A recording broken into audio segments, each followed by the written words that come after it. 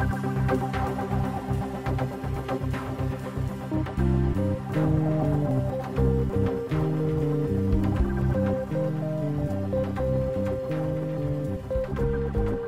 to The Growing Band Director, the podcast that dives into topics applying to all of us band directors. My name is Kyle Smith, and joining me is my friend and colleague Jeff Smith.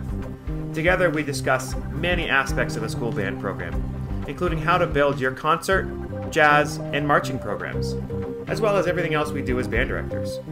More importantly, we'll discuss concepts that help us all improve our own programs every day. Always remember the famous quote by Ray Kroc When you're green, you're growing, and when you're ripe, you rot. Let's get started.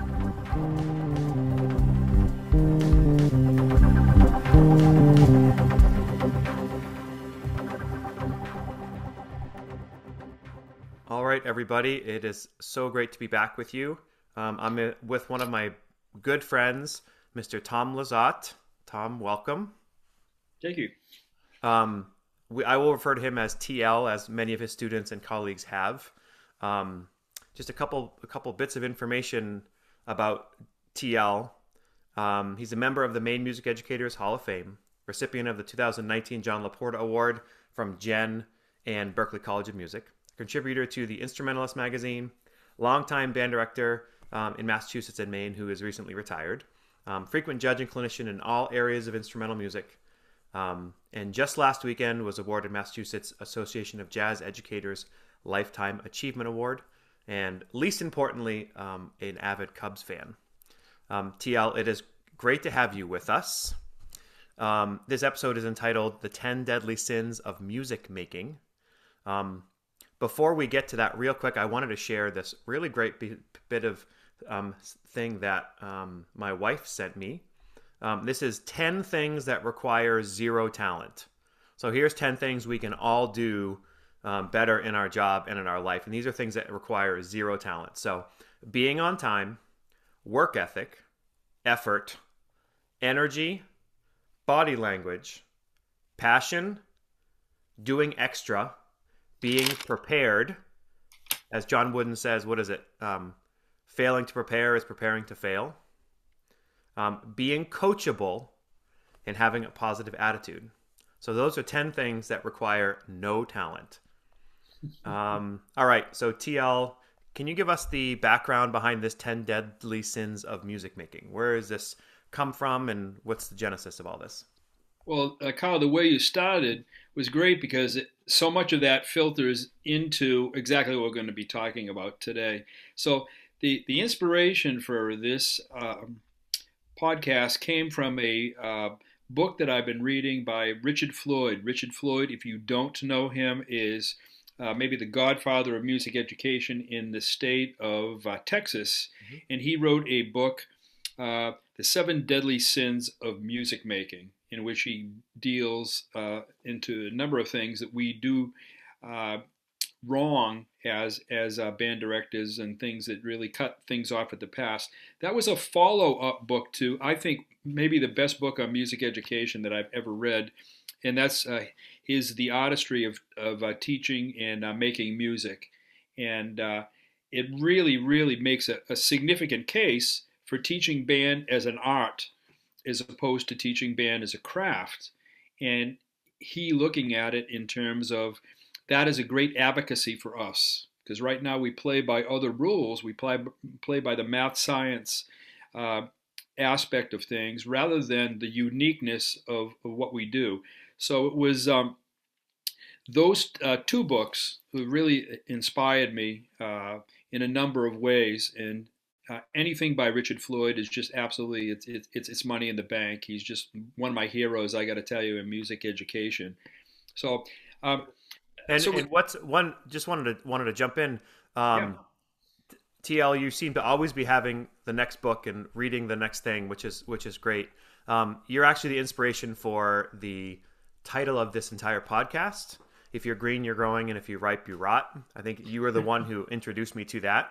Um, so you sort of epitomized that. I don't care how old I am. I think Clark Terry said the same thing. I'm still trying to get better, uh, no matter what what age we're in. So um, how do we want to dive into this? Are these are the ten that we have? Are that's is that seven from him plus three, or is it sort of loosely inspired by? No, it's it's loosely inspired, so it's like uh, you know ten of uh, of uh, things that I've been thinking about. So Yep. it, it's interesting uh, because in terms of the lifelong learning thing, that's like where I'd, I'd like to get started. But I read this great quote uh, actually uh, just yesterday from uh, Duke Ellington, and this is fabulous. Stagnation ain't going to look good on me, I'm sure. so Duke Ellington was learning until the very, very end, and he is one of my creative and artistic uh, inspirations. So, the, the first thing I'd like to talk about today is uh, the concept that thinking that you're fully cooked. And uh, there are uh, teachers that go out there that they feel that learning ends with the last day of college. Mm-hmm. And it's actually absolutely to the, the contrary of that. Kind of where it starts, right? yeah, it's it's not the end, but it but it's the beginning. And and the thing is, Kyle, if we expect students to learn, then we have got to be learners ourselves. And uh, you know, I had a, several uh, great situations happen in the course of my teaching career, particularly the latter part of it, when you know we all have bands that are a little bit less talented, depending upon the flow of talent in the room. And uh, why is it that some programs are very consistent in their achievement levels and ones, some others are like up and down? Well, if you have a situation where you might not have the strongest freshman class, uh, are you going to wait like four years to have another uh, good product? And the answer to that is is no. Uh, what can you do to influence that? Well, the biggest thing that you can do is, as a teacher, I found this that when I got better, my groups got better. Yep. So it's really, really interesting thing that um, in a couple of situations I can recall very, very vividly when there was le- less to work with. So I looked at it and said, well, I've got to plan better. I've got to program better. I have got to learn more. And I just very simply have to be a better teacher. And at the end of it, those groups were very consistent with the with the levels that that uh, we had had for for you know before and and after. There was no, in a sense, good reason for that, except that I got better. Yep. And that's we have such powerful, powerful influence on what we do if we continue to grow. And the and, kids and the kids never know that you get the you don't get the credit. You never say, "Oh, I did better. This one's on me." No, it's still all about the kids. And when you talk about having worse, you know, a lower level of player, we're really it's about I think the number one thing is like finding the repertoire that's right for that group. Yep. And and if that's right, it doesn't matter, you know, I think you told me once, I've never judged and said on the tape there's not enough notes in that program. Yep, yep. You know, yep. so finding that level of of programming is really really important. Well, and and that's like the essential thing. About I'll be getting into programming a little, in a little bit, but that is absolutely critical. That is the beginning and the end of a uh, successful performance, and a lot of teachers don't realize that, and they also don't do sufficient work in terms of in terms of uh, researching uh, uh literature, um, and um, so my idea as far as like program is concerned is that is a, it's a, it's a year long process. It's an forever process. Mm-hmm. I, I, will listen to absolutely anything. Now maybe it's like 10 seconds of a demo uh, but that's it. But that con- continual search for new sounds first of all is very very invigorating and you have to be like on, on really really on top of it one of the things i love about uh, uh, judging marching band is occasionally we'll run into, and I, I, as you know, I've worked like very, really, really hard to be literate as far as literature is concerned. But you run into pieces on occasion that you, you know, you were unfamiliar with. I mean, I don't listen to Radiohead all the time and some of the stuff that I hear in various uh, situations. And that forces me to go and to listen to that material and to become familiar with it, but also to, to say, to the performing group, you're doing very well with this aspect of it, or you're not. You could make these adjustments based on what the original material is. So it forces me always, you know, to be uh, really with the program.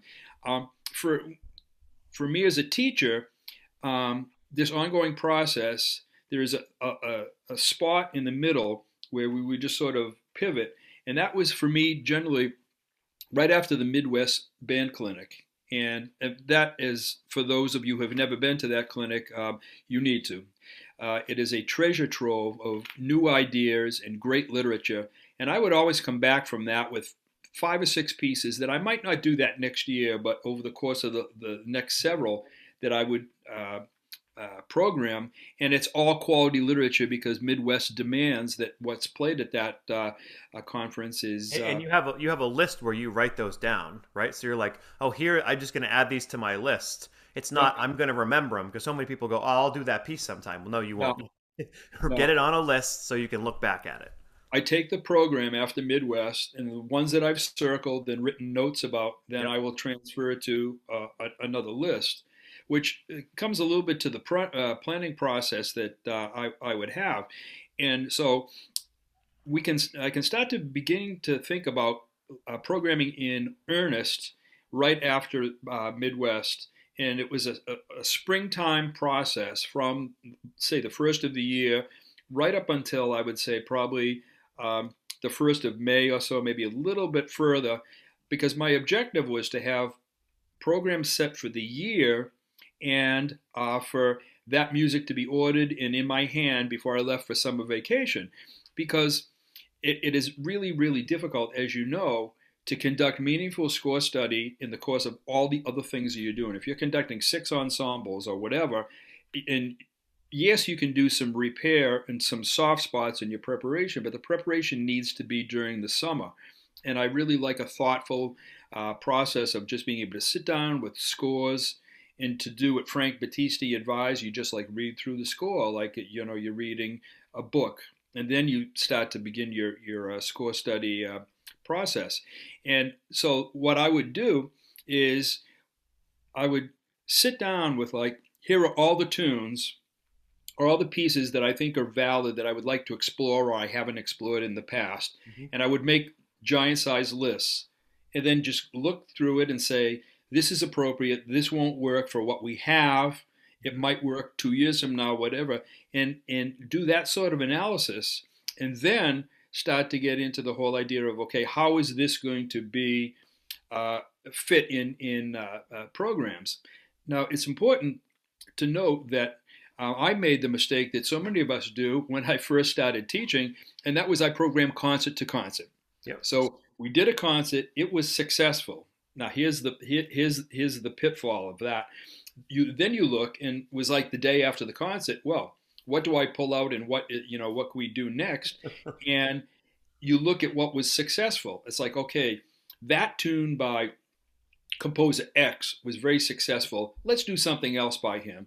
And I had this happen to me twice, Kyle. I'm not going to name the composers involved, but in both cases, I had that pro- programming process and we read uh, the next piece from that same composer, and I had kids say, uh, "Haven't we played that before?"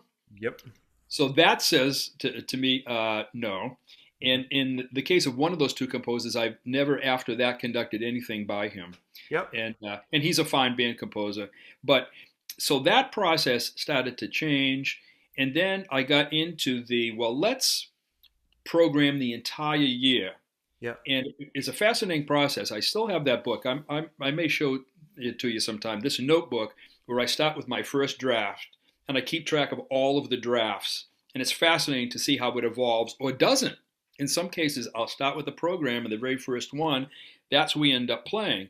In other cases, there's nothing left from that first draft. I just mm-hmm. keep on adjusting and and uh, you know, uh, tweaking as I get, get, familiar with new pieces or my thought process changes. I also want to jump in too because yeah. when you have enough experience teaching, you know when a kids when the kids start the piece, you know, you do have a grace period of it's not going to sound good maybe right away. And I've had people say that when you sight read the piece, if it's the right level, you should be at sixty to seventy percent. You know, there's there's you know some of that, and sometimes that's correct, and sometimes you know not on every piece. But yep. you know, also knowing when you when you've gotten into a piece and it's not going to work with your group, right? I mean, sometimes you just got to push through it and you have to teach it, and that's the purpose. But have you ever actually pivoted and said, you know what, I think this is really going to work, but then you get into it and for whatever reason, you just don't get the right vibe and you decide to change the piece? Absolutely. And there are times when I've paid attention to my gut and I've been very happy with the end result. Yeah. There are times that I just like, no, we're going to like, you know, like, tough it out and stuff like that. And I very much regretted it because they were not their instincts sometimes are like better than than ours. Yeah. And uh, so it's a it's it's a very very fine line, but you try to get a real good sense early on. Like that's like okay, this will work for us. Not that it's perfect right now, and uh, so that is part of that whole process. As a side note, as part of that, yeah. you know, taking kid feedback in the pieces that you're programming that's really big. You know, I if I do a piece, I think I've said this before, and none of the kids choose it as their favorite piece, I probably won't do that piece again. You know, yeah. not not that it, you know, but it's like if all 50 kids chose another piece, you know what I mean? It's like okay, I'll find another piece because I always want to feel like whenever we're working or performing a piece, it's at least one kid's favorite song. Yes, because that might be the one kid who's really, really uh, very insightful about things and not dealing with it necessarily on an emotional level. It, mm-hmm. it, it, it is a very fine line. And I always uh, would try to like really like zero in on what kids' reaction to stuff is because if they don't enjoy doing it, then they're not going to enjoy the experience. There are some pieces that they will enjoy immediately. There's some pieces that they will want to play that they'll find out later on. It's like, well, that yeah, wasn't necessarily the best idea some that are a little bit of a tougher sell in the beginning, but eventually they get there. And my, and my approach with that was if I'm doing something I know it's going to be a real stretch and it's very, very meaningful, um, and the reaction at the, in the beginning is like, you get a sense that they're not really getting it or digging it. Mm-hmm. Um, I would work it in very small segments in just like maybe 10 minutes here, not to try to like beat them over the head with it, but to say, to expose them to it. And then it gets a little bit better. And then all of a sudden they start to understand, hey, this is like really very good. I didn't like it, you know, uh, initially, but, and it was always a great thing at the end after a concert to have a kid walk up to you and say, you know, I really didn't like that piece in the beginning, but now it's my favorite and you know, I'm, I'm sure you've had that same experience. Yeah, so a piece that comes up to me, two pieces actually by one of our good friends, Andy Boysen, that yep. sometimes hit that. One is Conversations with the Night, the other one yep. is I Am. I mean, two great pieces of music that are very different, but you could see at the beginning kids like not understanding it. By by the end, it could be really impactful. Well, think of it, uh, you know, a piece like uh, uh, I Am, which is I think one of the finest pieces written in the last 30 years for, for a concert band. Think about the concepts in there. Now, it's technically pretty modest, but you're talking about aleatoric music and you're talking about a, a very dark subject matter, and it really stretches them emotionally. You know, listen, there's a car crash in the middle of this piece, yeah. but what you can do in terms of teaching expression and a true musical experience with something like that is absolutely irreplaceable. And in every time, I've, I've, conducted that piece on numerous times, in every single situation at the end, the kids are like, this is really, really good. Mm-hmm. And and the other thing that I like about that piece is a little bit of a side trip. To me, it exemplifies Andy's personality and his great, great warmth. I mean, he, if he wrote a piece and, and said to us, well, this is this piece about me, you know, who I am as a human being, it you know it, it would be that. And a little side uh, Midwest side trip on that. The first time I ever heard that piece, it was back in the days when uh, Midwest was at the uh, Hilton, and uh, I saw this great great group, I believe from Texas, uh, performing it, and just the opulence of that ballroom at the Hilton and everything else, and it was just such a poignant thing. And I literally at the end of that performance, and it was such a great performance, but I had tears in my eyes and I, I and I like went home and said, we are going to do this piece at, at some point in time. So that you know really gets to the quality of, of literature, but the various experiences that you can have um, with this stuff. So, so um, yeah. just to kind of catch people up, we will. This is posted if you go on the website. Um, that's on the description underneath the podcast, you'll see these 10 deadly sins listed out. So we're kind of melding them into each other. But I think, TL, we've done the thinking you're fully cooked. Um, yeah. The next one was programming by going over the file cabinet and taking out whatever looks good. That's also a no no. And then programming music that is not suitable for the ensemble. Yeah, let, let me get to to a, a few of those. Yeah. Um, I just wanted to actually finish uh, with the, uh, the, the programming process, and that I happen to mention. It's like, well, now we do. Uh, I program the entire year, kind of thing. Yep. But but there was a further refinement that, that came to that, and it was I looked because we uh, normally did three concerts. So what is the what's the target piece of music for the year? And then I would program it backwards. So the, the, the last concert was the the piece of the year. Give us an example. Give us a piece that might be the target piece. Uh, well, the final target, say we'll we'll we'll say it is uh, the Holst suite in F. Okay. And then the middle piece was something that might that will take us to that last piece, but is sort of transitional in the sense that you know, like technically and all that kind of stuff. That like and like something like maybe Pierre Laplante might fit into that.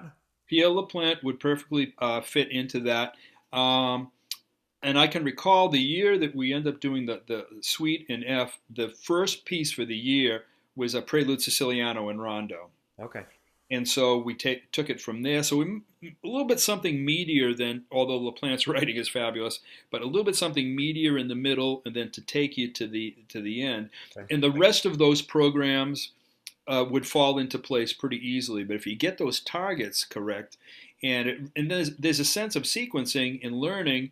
Okay, we're working up to to this uh, particular thing. And one other further thing on that, and it is uh, really jazz band related and uh, and that is that we take charts, we give them to the kids, and there are all these chord changes and all this kind of stuff, and it's that's that's cool.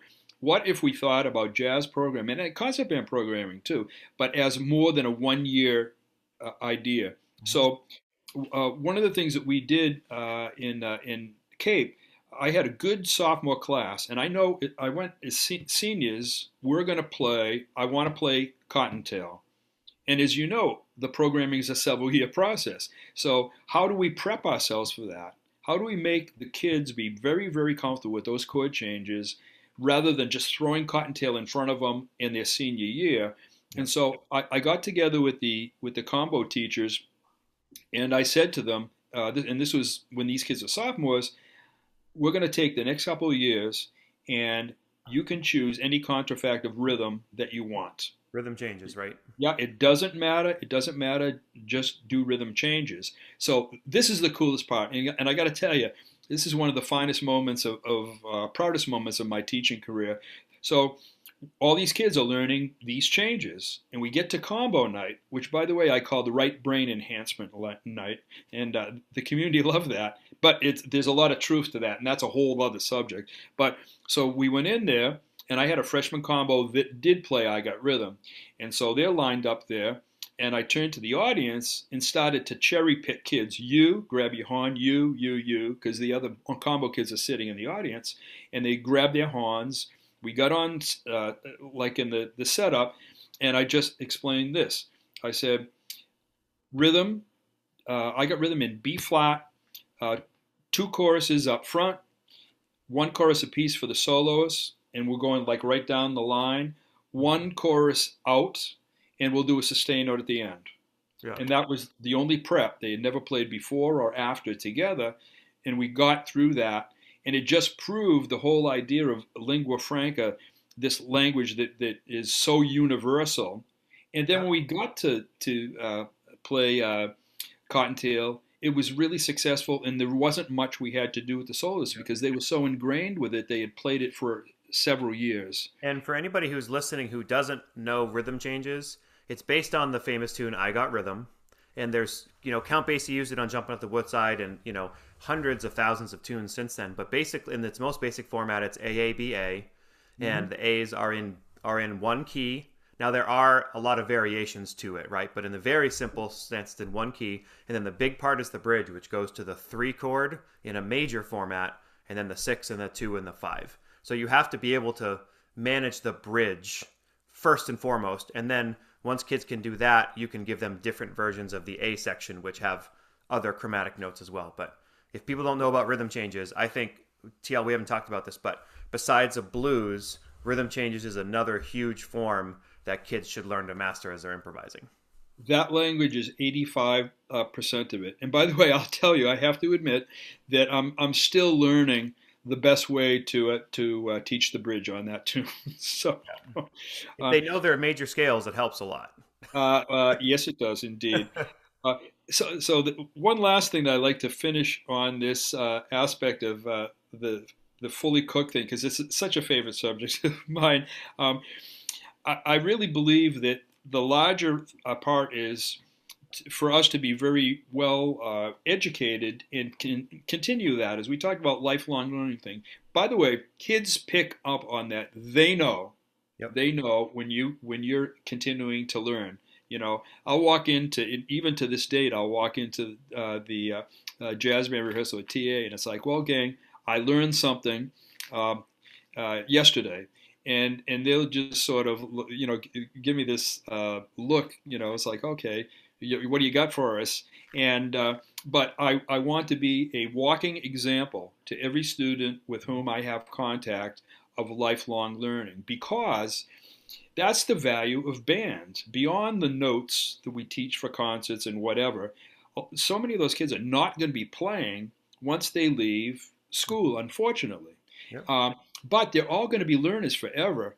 And we can educate the total child by really being committed to this whole idea of, of, of, lifelong learning. We need to be a great example for them. So, one of the things that I try to do in terms of my overall uh, making myself better is um, I read everything that I can get my hands on. And generally, I have three books going on at once. Uh, generally, uh, a jazz history book, because that is my, my hobby, you know, and uh, uh, maybe a, a, composer biography, um, self help stuff. I'm really, really into that sort of thing. I just read a thing called The Four Agreements, which is really, really excellent, and it, it's made my teaching so, so much better. Uh, these four simple little concepts of things that you can do, and then then I do generally read something for uh, for fun, like a John Grisham or something of that particular nature. But it is always always a book or a score in my hand because that's just the the way that uh, you know the way that I that I learn uh, best. Um, I worked for a guy uh, down in uh, Massachusetts, uh, a legend in music education, Paul, Paul Alberta. Right? Yeah, Paul. Yep, Alberta. Yep. And he said to me at one time, he, said, "Tommy, I'll um, I'll learn the last thing I learned when they throw the last shovel of dirt on my face. and that, and that, you know, when you work with somebody like that for five years, they really have a profound influence on you, as, as Paul has. Uh, so my objective, honest, and, and to this day, I, I, practice this. I wouldn't lie. Um, I want to learn one new thing by seven o'clock every morning. One thing, whatever it is. It's not and never ever planned. So um, yesterday I was listening to a uh, a big band recording with a trumpet solo on it, and um, that's like the first thing I get up. I'm doing my morning stuff. There's a recording of some sort, some kind of music going on every day. Well, in this case, the trumpet player on on the album uh, reminded me of of uh, this guy who was a studio player in uh, the 50s in New York, Bernie Glow. For some reason, that name popped into my brain. And so the first thing I did is I just like sat down at the computer, got on Wikipedia, and checked out Bernie Glow, and was just one other little piece of information that I had. That sort of curiosity, I believe, whatever success that I've had as a judge, it is related to that. Mm-hmm. Uh, that that uh, curiosity, uh, being like wanting to know every possible thing that I can about the, the subject matters at hand. And in in uh, you know, Westbrook with your staff, uh, you've seen that approach in action because when I, when we uh, you know were evaluating your show last year and all that art, well, it's like that's like you know that's going into the you know the candy store for the kid, but and the process it was like okay. I want to learn this about that aspect of Picasso or, or, or uh, you know Jackson Pollock or whatever, and getting all that information allows me to be able to give a little bit more of an informed opinion uh, to, to the group uh, group's concern. And I, I suspect that that's something that they value and, and, and appreciate. Uh, And but that's part of the vitality of all this, which is which is so cool. And, so and when everybody, you know, if, if you're a judge, you should be able to ask any teacher when they're programming a piece for their kids, like what are what's the purpose of this piece like why are they working on it and sometimes it's for rhythmic concept sometimes it's for a key sometimes it's for a time signature sometimes it's for a musical something, right? But there needs to be some sort of purpose for it. It can't just be they like it or we like it. I mean, very rarely should it should it be that, right? But think about like why what can this piece offer? And I got to tell you, sometimes I say I'm looking for another 6/8 piece and then I'll find it. But sometimes I'll just find a piece I really like and say, "Oh, we should do this piece with this group and this is what they're going to learn from it." And you kind of put it in that category. Absolutely, and you know, you're bringing this up uh, brings us actually to to uh, point number two, which is uh, how some people program and uh, they just like go to the filing cabinet and they start rifling through and the first thing oh yeah this would be good and this would be good and this would be good. I i've seen people do this and this is that concept because they find three things that'll you know they think will work and there's no thought process um, beyond that.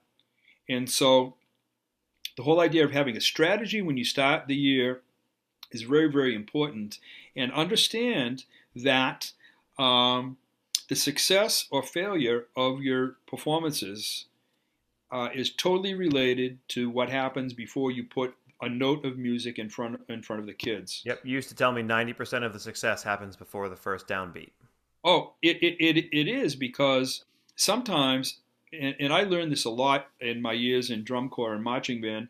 When when the writing is not correct, and I've lived through some programs, it's like I know these are great kids, they play well, they should be successful, but what's in front of them is not going to allow that to happen, and invariably that's what happens. You know, and, and as a tech, it's frustrating. It's like I know, I, I know this is not going to be successful. But on the other hand, I've seen situations. I remember one year with the Boston Crusaders, Jay Kennedy was the was the brass writer, and, and of course one of the very best that ever has done it uh, in the drum corps activity. And uh, Boston had that year not a great amount of talents, and that was one of the most successful corps. They were like fifth at, at DCI because the writing was was so correct, and Jay made all of those adjustments uh, uh, going on. Mm-hmm. So you, you really need to make sure that the, the program is suitable for the group and not like I'd like to conduct this piece. Right.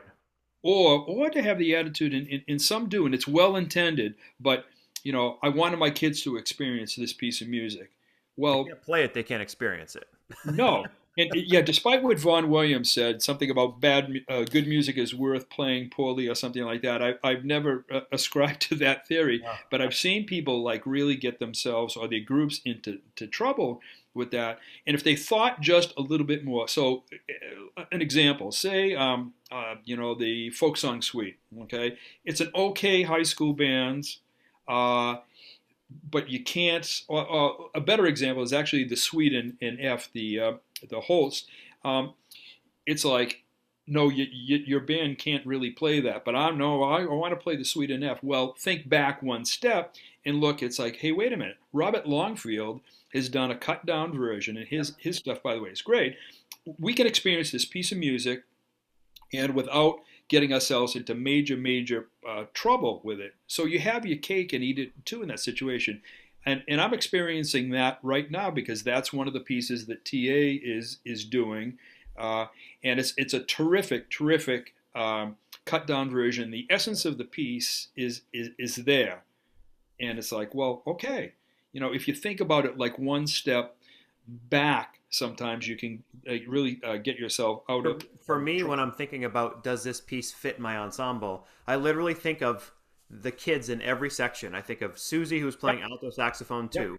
Yep. Oh yeah. Part or trombone three. Oh my gosh, they couldn't play that part. You know, and if there's more than a couple where it's like, well, it doesn't fit that group, or say, like, if I have a really young concert band and the second trumpets literally can barely play an octave, right? Well, I need to find music where the second part doesn't go over the break for clarinet and stays, you know, within a certain certain range. So matching up your individual kids with their individual parts is how I look at that.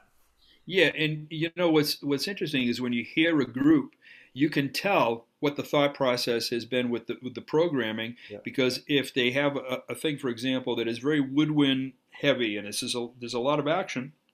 It is not necessarily ridiculously difficult. It really, but it spotlights them, and it's a very weak woodwind section. you can do that. I mean, you can work on it all night and all day, and it's not going to really be successful because it's a developmental thing. Maybe that piece would be better next year. Mm-hmm.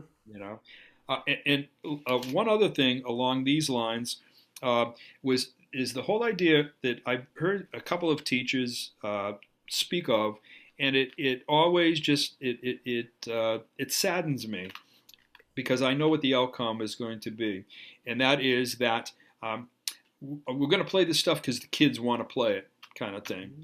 And yes, their affinity for the music is very, very important, and I'm always like have laser beams on what they're feeling about it or what they, you yeah. know, apparently think of it.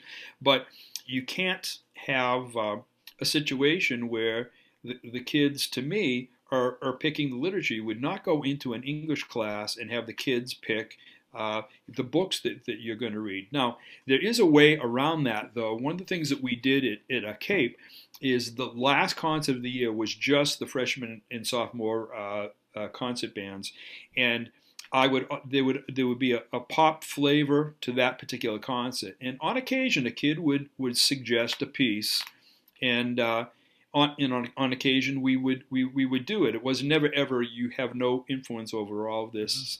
Um, mean, if a kid really wanted to do it and, and argued a good case, it's like, well, we'll learn it, you know. And if we if we don't like it, then we don't have to do it. But it, that gives them ownership, but in a very kind of controlled situation. And there's another way that there's another way I've approached that is, yeah. um, if you say, okay, well, you have a slot for one movie piece or pops piece. Yeah. Here are five that I approve of. yeah And we'll let the kids listen to them and vote on them then maybe we choose one that the kids like, but again, not very often. That, sir, is a better uh, process than I had. uh, but and right.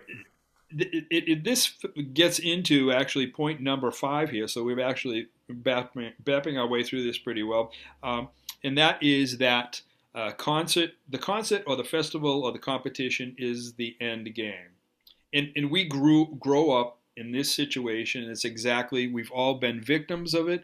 We have all uh, imposed it upon others, mm-hmm. and I would submit that there is a there's a higher level of of thinking, and I think it really comes to what are you looking to accomplish artistically and and educationally, and if that is going to be your guide, then the event at the end of it is the least important of, of, of all these things. John Wood, it's a celebration, is what it is. Yeah, John Wooden always talked about. Uh, he said it's the journey, not the end, and it's it's that journey which is so important that we have a real tendency sometimes to to like like forget in our pursuit of like what it's going to sound like at the concert. No matter what the human cost is, and there is a significant human cost if you think strictly in terms of, of the outcome. But if you think about it in in uh, other terms, it's like it is a, a process. And you know, I would always say to, to the Cape kids, and they were they were great about this. Um, it's like the concert is a snapshot. And by the way, concerts are perfectly expendable, as we found out during during COVID.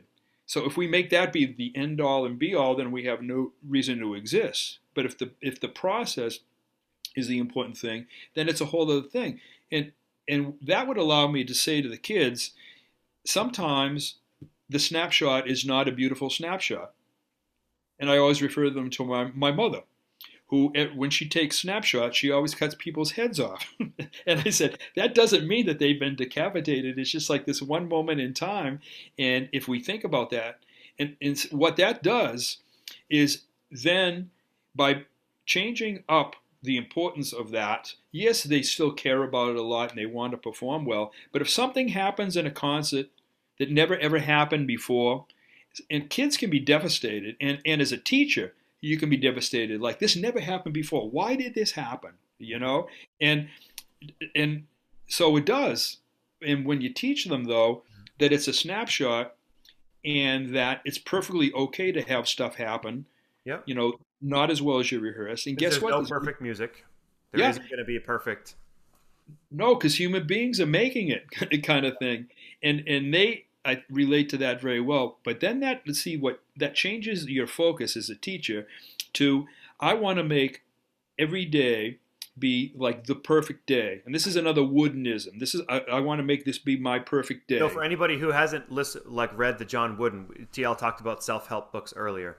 John Wooden, the famous coach from UCLA, you turned on to me on to a lot of his books, and I own a lot of them. I think the best one I've listened to, I've I've uh, read, is called Wooden. Yep. Just his last name, and it's just this art of teaching. It's so amazing. So continue, but I, that's if people are looking for, especially band directors who like sports, it's a really good genre to, to read. Yeah, well, in, in in my estimation, John Wooden is one of the finest teachers to ever exist in any particular thing because he started off as an English teacher, and uh, the the methodical aspect of how Wooden uh, dealt with things. I mean, he would uh, he preserved from like 1934 to the end of his uh, teaching career uh, in like 1974 every like the uh, recipe cards with his uh, practice plans. Yep. And he at the beginning of every year, and I did that for a while. I got to tell you, you know, review like the, the process. You he would start every. They would win a national championship in March, and Yep. then at the beginning of the year, three months later, he would teach the entire team how to roll up their socks correctly. Because if they don't put their socks on, they get blisters, and then they can't play. So he would every year start.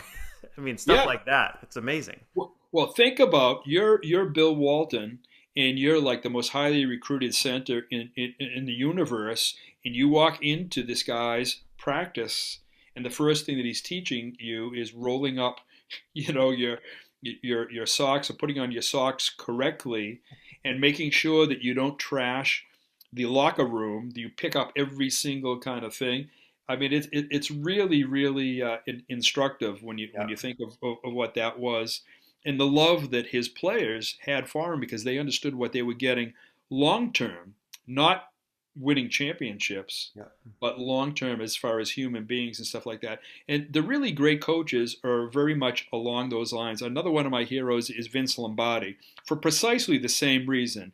A different style, totally. I mean, Wooden was professorial, uh, if that's a word, and uh, uh, professorial, I don't know, and uh, and and and uh, Lombardi was in the gutter kind of thing, you know, just like, ugh, you know, hard uh, school, old school. But they both had the same message, and the players after, for the rest of their lives, just absolutely adored what they did for them, as difficult as they were in each in their own uh, different ways. And it's, I think, it's great as teachers to have those those sort of uh, role models. They both have, throughout my career, had a substantial influence and made me a better teacher. There's no doubt about that. So Love it. Love it. uh, the the next uh, subject we have, uh, th- and this will be a brief one. We talk about uh, vertical alignment as being the sole goal, and that is a, a really you know I'm, I I live in the world of drum corps still, and they're all about the doctor beat and that you know like everything's lined up perfectly and it everything as else clean as possible. and that is one of my my uh, uh, bones to pick with the activity. But I, it, you know, I'm, I'm certainly How, how come we don't get more credit when we play dirty at a show, TL? If we play dirty, Well, you know, there's a certain amount of uh, vertical alignment that is necessary to communicate uh, why, whatever. why you're is it a problem? Why is why is a set you know going with vertical alignment? Why is that a problem? Oh yeah, well because what it does is it makes the music bloodless. If that's the if that's the prime focus, and it comes to the way that you teach pieces of music. And like when I first started teaching for a long time was all about let's get it clean. You know, we can't communicate any musical stuff until it's clean. It- but it's a different process. And this is something that when I was out at UMass, Bill Rowell very much taught me. It's like you need to take a small section of music and you need to go at all aspects of, of the musicality of it and everything else. Vertical alignment is a factor, obviously, clean rhythms. Mhm. But if you ignore the line, if you ignore the expression, you ignore all those aspects, then you try to put them in later on, it, it it's forced and it's not natural. It needs to be organic. So if, if you take it and just like really shape it and make the intention to uh, to say like this transfer, like later on in this piece, it's going to be the same concept. And uh, Paul Alberta was one of the people that really taught me about that. Paul would sit there and he would do hour after hour after hour on, uh, you know, 20 bars of music. Yeah. And it's like, what's what's going on? And and I actually have a great story along those lines. He conducted the uh, uh, District One Jazz Band uh, one year, and uh, we had a rehearsal on uh, was a, a, Friday. Interestingly enough, the only teacher that showed up uh, other than myself, and I was the manager, was uh, was Craig, Craig Skeffington. Mm-hmm. And so Paul, at, at the end of the night, I mean, he, he had a little bit of this, a little bit of that, and a little bit of this. He played through nothing Nothing, no, oh, like one, hey, let's do a run through of this piece. Nothing. It was all over the place. And you just say, what's the deal here? And so we, we finished the rehearsal. And uh, so uh, uh, Paul was having fun with Skeff, and he just said, uh, so uh, how'd, you, how'd you think things went? And, and uh, his, and Skeff's thing was, well, yeah, I thought it went pretty well. I was surprised you didn't run through anything or anything like that. And Paul said nothing. He just looked at him. He said, "I think things went great." So we went to the the uh, the the next day, which was the uh, rehearsal, uh, the uh, district meeting, and then the latter part of the rehearsal. And so we show up the first part of it in like the first hour of rehearsal. It was the same thing. He didn't go through anything. He went back to the stuff that he had done before you know, it's like, wait a minute, you already taught that. What's, uh, you know, and we're looking at each other kind of thing. But I, at least I knew his modus operandi. I haven't worked with him. So, the, so we go to the district meeting, and uh, an hour later, we go back to the rehearsal, and all of a sudden, he's playing this stuff, and like, it sounded great because he very simply took the concepts that he laid out in the beginning and it's like, okay, this transfers. And he would never ever say it in those specific terms, but that was going on. All of this transfer, and all of a sudden, what seemed to be a disaster band in the course of like one hour was completely flipped. And at the concert, he knew, he knew the essence of each piece, and he was able to take the key components to that piece and work on those. Absolutely. And, and he would also go at it from the viewpoint of okay, th- these are the things that are like the nasties in this thing. If we get this mastered, then the other stuff that surrounds it will really, in, in some sense, take care of itself. And he was teaching an, an aesthetic and an approach. And it was, I, I wish that everyone could have been in the room uh, you know, for those rehearsals because it was just absolutely a, a textbook. So um, the, the, next thing we have on our list is uh, that uh, judges are the problem. And um, this is one I grew up with, again, in drum corps. Uh, and it was just, uh, I'm, it was so unfortunate that our, our uh, staff dealt with it in this way. And that was that they would always refer to a specific, oh, you know, these guys don't know what they're doing. They're the locals and stuff like that. And we, if we go out of state, you know, we're going to really get these great, great judges who are the same level of judges that we were dealing with every week, but we didn't mm-hmm. know it. So we'd cross the line into Connecticut, and all of a sudden those guys are geniuses. You know what I mean? It's like, no. And so when you have any sort of a group that's evaluated, it, it, it's more difficult in a competitive music thing, but you, you, this absolutely applies. The judges are not the problem. They really aren't. Are some better than others? Yes. Is judging improved? Yes. And, and I'll say, particularly in the state of Maine, since uh, Jim Vitigliano took over the marching band thing, he's really, really worked to get the best possible people. So the quality of, of judging is improving, but a lot of it comes from the mindset of the of, of, of the teacher. And the kids will the kids will act like the teacher. there, there is there is set by the teacher. There's zero doubt about that. When kids can't deal with competition in the right way, it's because that's the that's what's been taught. You know, the, the old thing from South Pacific, you've got to be carefully taught. Well, that's in that situation, that sort of a mindset, and uh, you know, thankfully that has changed very, very much up in these parts uh, uh, down through the years.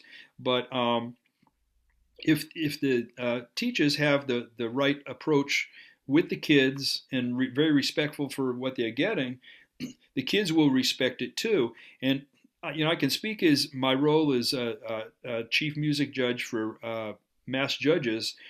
This is like an ongoing discussion for us, and the whole idea is we're looking to have a symbiotic relationship between the judging community and the groups that we that we adjudicate, mm-hmm. so that the groups feel that the, the, the judges are an extension of, of, of, of the staff and we're in this together kind of thing as opposed to here's this other force out there that doesn't want us to be successful. I mean i can tell you as a judge judges never ever enjoy uh, like we're uh, adjudicating a very very poor performance.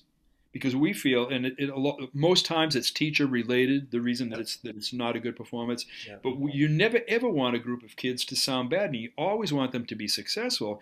So we bend over backwards to, to achieve precisely that. And it is part and parcel of what MJA is uh, these days. And we really, really believe that, that we work together. And, and I think that the relationship, excuse me, between the judging community and the bands has improved a lot down through the years. Um, I can recall a few bands when I first started judging uh, up in these parts that were not very receptive to what they were being told. Yep. And as a judge, it was frustrating. It's like, I just want these kids to sound better. I just want this band to be better. And the teacher sometimes was, was getting in the way. So like, there's there's the phrase I like that says it doesn't matter who's right, it's about doing what's right. So what do you do if, as a teacher, you are receptive, but you feel like that what you're hearing from the judge is something you disagree with? Then very simple, you go with your own uh, best judgment that's a, a, what I like to do in those situations is is suspend my ego. Because a lot of times it's like okay I really believe this and someone else is saying that it, it that is they have a, a polar opposite you know uh, approach to things. They may be right or they may be wrong. So I want to eliminate the possibility of them being right. And some of it is you evaluate it and say okay this is an area of strength for this judge or not an area of strength for this judge, and I'm going to uh, evaluate that information in, in, in, that way. But a lot of times, I'll tell you, it, ca- it, it gives me pause. I say, okay, why why am I not getting this, or why is is he not getting it, or she not getting it, and uh, and that is the educational process that can happen in a critique situation too. And I, I found that most judges are amenable to those sort of things. Uh, I think it's important as a judge, if you have made an error, that you are very much upfront about it and to mm-hmm. say, you know, I, I, that was a that was not a good call on my part, and that's not the way that it used to be. It used to be the judge was omnipotent and you couldn't admit you were wrong, and it, it was a sign of weakness.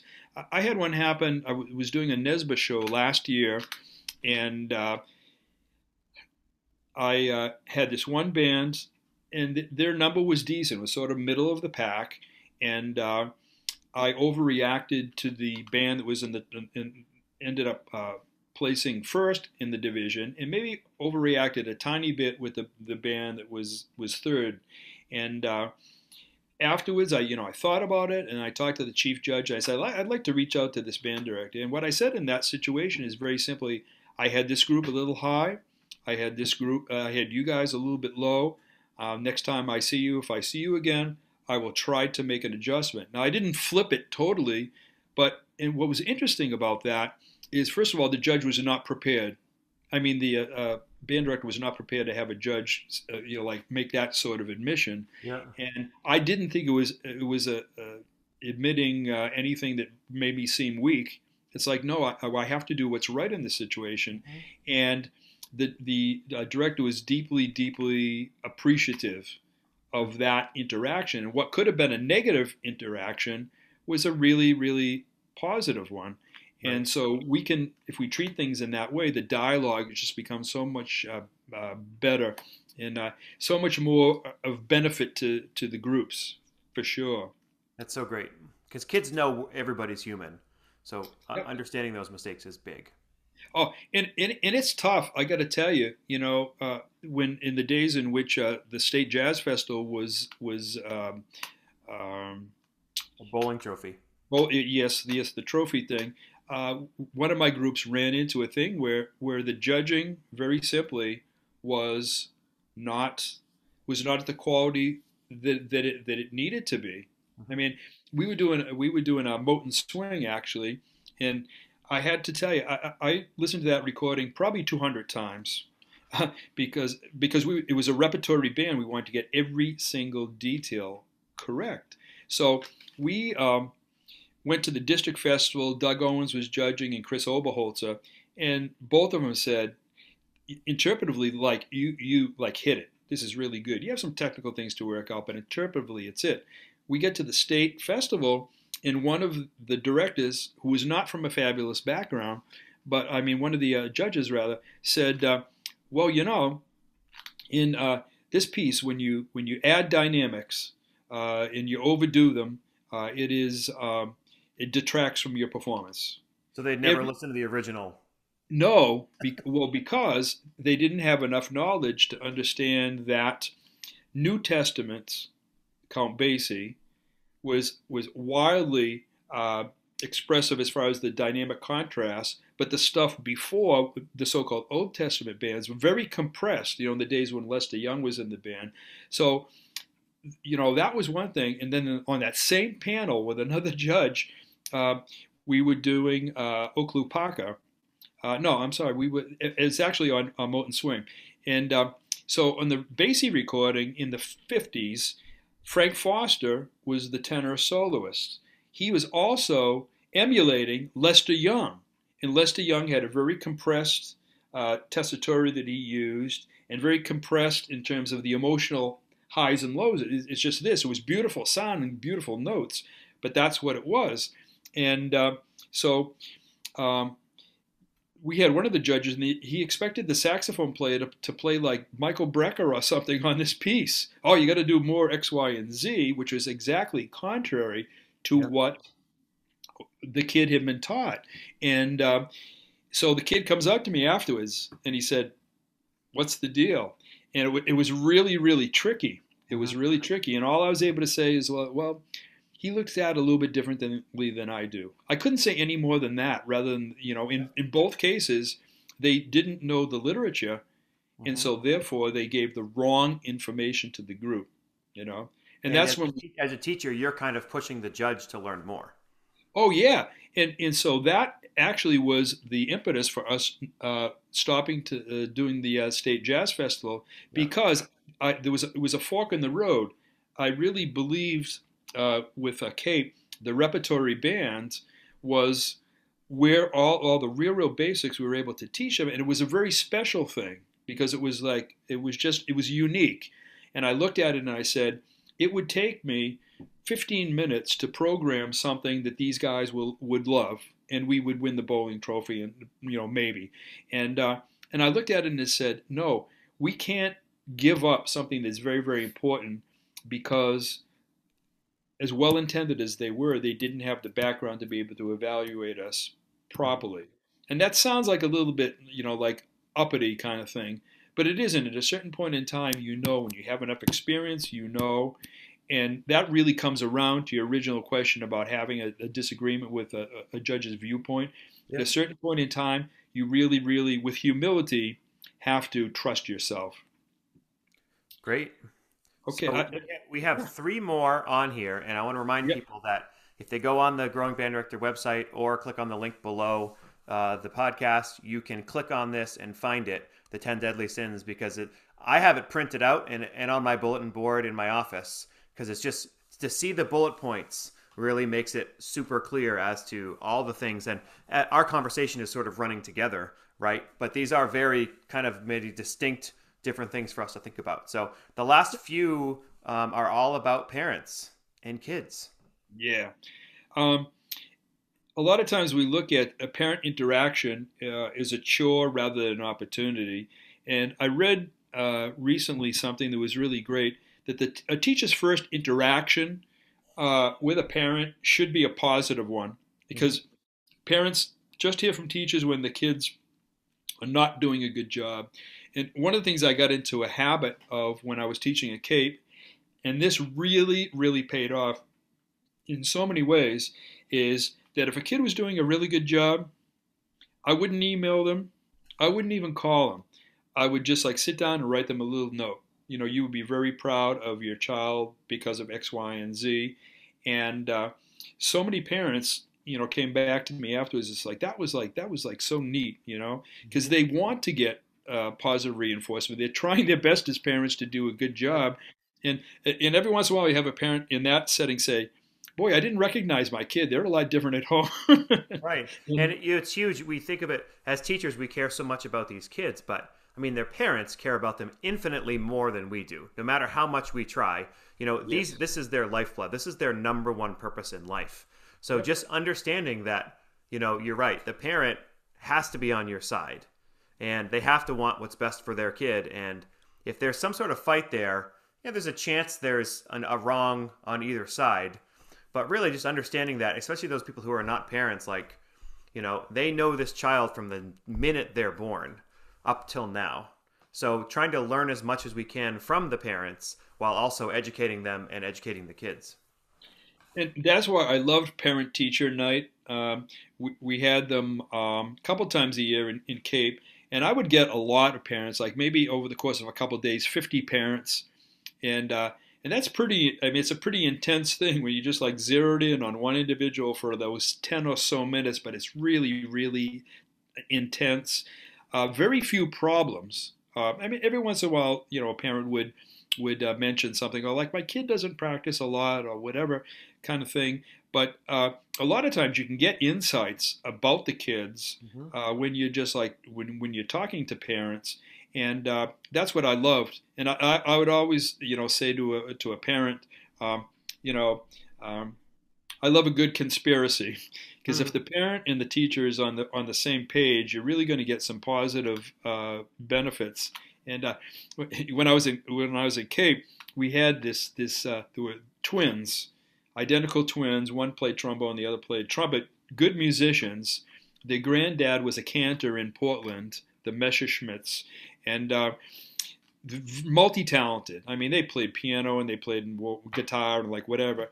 And so the the father would come in, and every uh, for for three straight years he came into parent teacher conferences, and the conversation would be, you know, boy, I'd like to have the boys, you know, into the, you know, like join the join the jazz band. I think they really love it. They would get a lot out of it. And the father's, oh, like, oh, you know, don't tell me that because I've I, have i have been totally unsuccessful. I've been trying to get them to do it. So anyway, this happened three years in a row.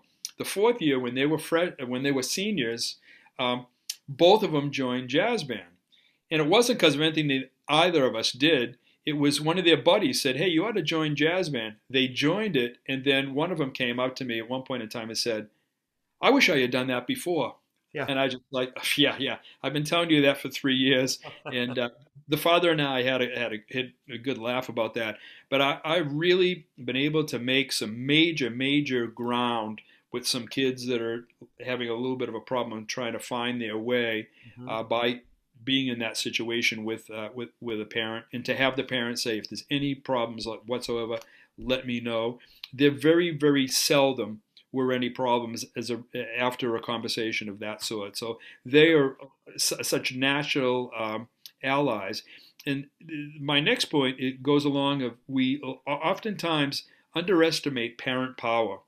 And I think in these days, it is really, really very, very important. Uh, more important now than ever post COVID because some uh, principals in some localities are using this as an opportunity to really cut back seriously on music contact time. Like the whole idea of band for a half a year yep. is like something that's really starting to catch hold. Yep. And if parents allow that to happen, then Say goodbye to the band program. Oh, you have the muscular development that doesn't happen. You, you don't like lift weights for six months and then then sit on the couch for the next six and pick it up. I mean, that's it, so the muscular development, the the musical development, everything else, in some situations gets cut in half, mm-hmm. which means what you can deal with in terms of literature gets seriously compromised. If parents really have, if they're really really effective and they know how to, how to lobby, um, they, in not every case, but in a lot of cases, would get a lot further than it than if a teacher is complaining about scheduling or something of that nature, because they're the taxpayers, and they can walk into a principal or a superintendent and say, "I'm a taxpayer in this community, uh-huh. and I demand to know X, Y, and Z," and uh, principals sometimes in that situation get a little bit funny because they'll go to the teacher and say, "Well, call off the dogs." And so, if you're going to uh, be in a situation in which you want to utilize parent power, there needs to be an element of you're not directly connected with it. So you know, I, I, would I would find the smartest if you're having a scheduling problem or anything of those lines. I would find the smartest, most influential uh, parent that's out there, might be president of the band boosters or not, and just very simply have a conversation with them and just to say, I can't be directly connected with this, but here is what's going on, mm-hmm. and have them start to ask questions. And a lot of times, like they very simply, uh, they very simply will. I mean, in yep. in uh, and because administrators like to do things, and I don't, I don't want to put ill intent to it, but they like to do things sometimes when not everybody knows about it because it's just easier to implement it without people questioning. They, they, they do, and uh, particularly in terms of scheduling, they do what is easiest for them. Yep. You know, um, I, when I was in Cape, I had first of all the best principal that like known to like human human uh, endeavors uh, in Jeff Shed, and uh, at one point in time they were doing a uh, uh, a um, adding a, a lab uh, for one of the science courses, and he picked up the roster for the Wind Symphony, and it's like there was like 20 kids that were missing. Yeah. And now, in most situations, the administration would say, "Well, the kids have to decide." Well, if kids are driven to be successful academically, then the thing that gets cut out in that process is, is generally music, not because of its value, it's just how society values this stuff. So in this case, and Jeff Shed forewarned me because I didn't even know what the deal was, and he said, "Yeah, there's a there's a there was a problem with your schedule, uh, but uh, I'm on it." And so he sat down and with a director of guidance, hand scheduled every single one of those kids so that they could take the lab they could also take the Wind Symphony. He just moved stuff around and stuff like that. A lot of times, guidance offices uh, uh, offices don't think outside the box. They don't think in terms of like, well, there are other options. The easy thing is to say the kid has got to choose. That's the easiest thing in the world to say. And that's where parent power comes into play too. It's like if they sit down with the, the guidance counselor or the principal or whomever and say, my kid needs to be scheduled for band. I don't know how you do it. Let's get creative with it, but you have to do that. And that will get a lot more influence than let, letting them make that particular decision. And the whole thing about, well, you have to choose, that is a false equivalent. Yeah, you don't. And so, actually, the one last point that I had giving up on a, on a kid, and uh, Walter Chesnut was. Uh, perhaps my biggest mentor in education, the trumpet teacher out at UMass, um, really responsible for any success that I've had in, the, in this uh, field. Mm-hmm. And uh, he had a, a, statement that he said to me one time, and he said, Tom, you need to realize that there is a child behind every instrument. Yep. And and that to me was profound because it, it caused me to take a look at my rehearsals and interactions with kids I flipped the switch. It's like, okay, I'm the kid. You know, what is what are my feelings about TL right now? Well, what you know, how I'm being dealt with and everything else.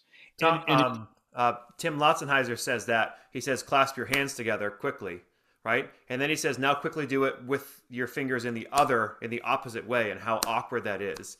And he says he uses that as looking at an op- at something from the other somebody else's point of view. Oh, and, and the thing is, it, it, it's humbling. You know, some moments that I've had in, in my career, not a ton of them. You know, I was fortunate to have, uh, I think, good relations with most of the kids that I ever taught. You're never going to be the answer for every single kid down the line. But there were a, a few cases that I looked at it and and it was really humbling. It's like, oh, you know, I wish I could start all over again with this mm-hmm. situation, mm-hmm. or I wish I, it would be something different. Uh, but that's really, really valuable in the overall scheme of things. And it allows you to, to see the world uh, through kids' eyes. Every kid that we have, Kyle, has aspirations and hopes, no matter how together or not together they are. Whatever, uh, there is something they want to achieve in life. And of course, if you can find it out, that's so much the better. But if we look at it in that, that, that most kids, or all kids really, that I've ever dealt with, want to do the right thing. Yep. And sometimes they're not, you know, they're not as successful at it. The other thing is the kids learn at a different uh, rate. so that it, not only in terms of the musical skills, in terms of social skills and being able to deal with an ensemble, you know. And mm-hmm. so I, I, find myself the more that I do this, becoming more and more patient with certain things that are that are hard Absolutely. to uh, to hard hard to fix. You don't just walk in and say, "Bam, this is what it is," because that's not how kids are at this point in time, and that's not the worst thing in the world. If we have to be able to, in our own mind, justify what we're doing, I think that that's great. But I have to be willing to uh, to have an interaction with a kid in a very anonymous way. Uh, you know, like uh, five times a week about a cell phone. Yep.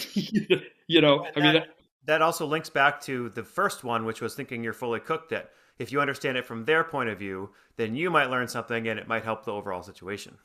Oh, oh, oh, there's no doubt about that. And when you find ways of dealing with some of those behaviors you need to be to be changed, yeah. uh, then it, it, it's a whole different world. And uh, this whole idea that kids learn it at, at, a different rate, that's something that I've learned in the last bit of teaching that, that, that I, I've been doing. I mean, the, the TA, TA kids have been really, really wonderful. And there are a few who, who are still a little bit behind the curve in terms of the really getting the uh, like culture and behavior the way exactly that we that we want it. I can't get impatient with that. It doesn't change anything. It doesn't, uh, uh, you know, like have any positive effect if if I if I'm like negative about it or making judgment. Oh, that kid is like whatever. No, it's going to take longer. And my thought is, if it takes until the you know the last rehearsal that we're together, yep. then at least we have solved the problem eventually and I'm not blaming them about it. I'm not angry about it at all. It's like it's I I have to be persistent in a very very quiet way. So well well you know that kind of circles around. I think all of these are great, and if we were to bring out one thing from this, thinking you're fully cooked is probably the one. Right? Always be a lifelong learner. Um, and I'll remind you know people again one more time that the list will be on the the website on the link to click it, print it out so you can see these that's what I've done, and it, it's had a profound impact. Um, TL, you you help a lot of people, I think, um, through your mentoring of other teachers. Would you be willing for me to to share your email address? So if anybody listening to this maybe had a question or a conundrum or uh, an opinion of yours on something, is that something you'd be willing to do? I would be way way cool with that, and uh, maybe uh, one further thing, and that is just uh, any teachers who may be listening if at any point in time that you ever feel that uh, I could be of help to your program, whether it is helping you with programming or uh, having a visit at your school, anything of that sort, uh, if you would please uh, get a hold of me, I'd be more than glad uh, to uh, to do it because um, we're all in this together. W- would you just out loud? Would you just say what your email address is so people could contact you if they want? Sure, Thomas P as in Peter, Lizotte, L I Z O T T E, and that's at gmail.com. Thank you so much. TL, it's been a pleasure. Hey, thank you, Kyle.